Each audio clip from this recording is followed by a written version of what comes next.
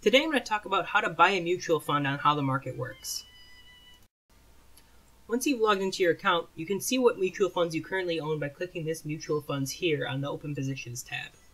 Since I currently do not own any mutual funds, I can get a list here of some of the most popular ones that are trading right now, along with the, their percentage return for the day.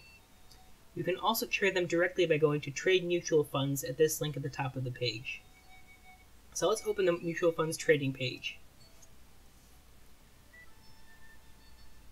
If you don't know much about mutual funds, it might be difficult to pick one from the other. That's one of the reasons why we have the most popular traded today.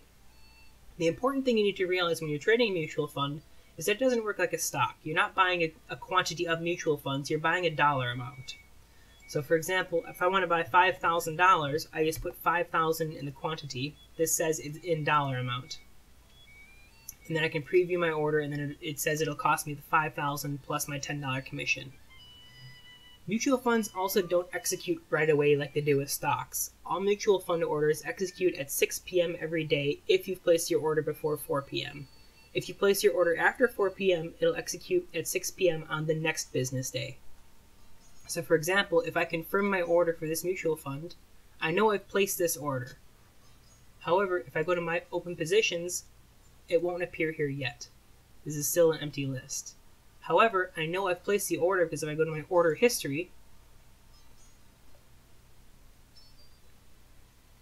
it shows right here that I had this market order for this mutual fund. If for some reason I decide I don't want to make this order anymore after I place it, I can click this cancel button to make sure this order does not execute. If you have any other questions, make sure you contact our support desk here under the Contact Us button.